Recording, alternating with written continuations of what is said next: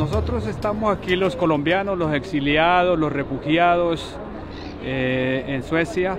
La gran mayoría, como en todo el mundo, los más de 6 millones de, colombianos en todo el mundo, estamos apoyando a los colombianos allá en nuestra patria por ese paro que están haciendo hoy contra la reforma tributaria. Es una reforma que solo beneficia a la clase política, a los grandes transnacionales, a los bancos, al comercio y es una miseria prácticamente, es un asesinato prácticamente contra la clase trabajadora y la clase media en Colombia. Hoy en Colombia, este 28, se celebra un paro nacional en Colombia en protesta contra una reforma tributaria y por la situación que se está dando en el país donde se firmó un acuerdo de paz y el gobierno prometió y el Estado prometió que iba a haber paz en el país para el pueblo y lo que ha habido fue muerte, asesinatos. Se han asesinado pues a más de mil líderes populares en Colombia.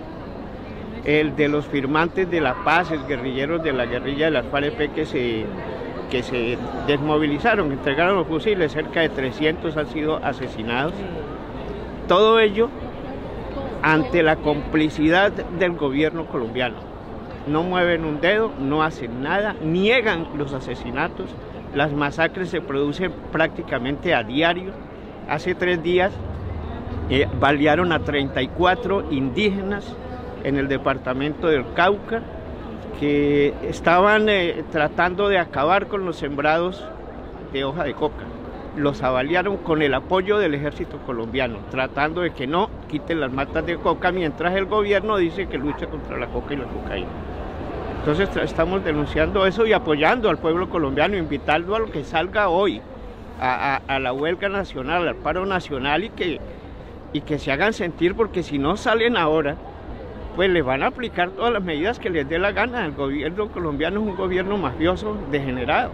Estamos pidiendo que el gobierno se retracte de haber radicado este proyecto de reforma tributaria en Colombia. Es lo que le exigimos. Ellos trabajan para nosotros, para el pueblo, y el pueblo es superior a sus dirigentes. Y quiero que Colombia sepa eso, que nosotros somos más fuertes y necesitamos ejercer esa fuerza y exigirle al gobierno que lidere para nosotros, para nuestros derechos y que no se vuelva criminalizado el exigirlos que no piensen que somos unos mamertos y que estamos buscando todo regalado. Estamos exigiendo lo que por ley constitucional tenemos derecho cada uno de los colombianos.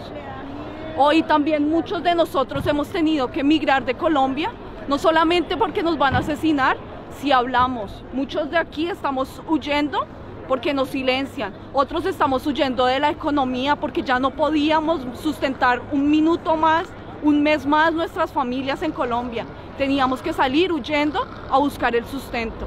Y por eso seguimos hoy aquí para rechazar totalmente esto. Y vuelvo y repito, no nos queremos sentar en la mesa de diálogo con el gobierno, queremos que esto sea rechazado y sea retirado del Congreso.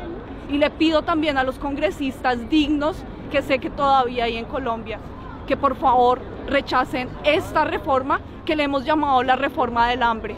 Se los pido como pueblo, es lo único que ustedes pueden hacer por nosotros, rechazar esta reforma del hambre. Muchas gracias.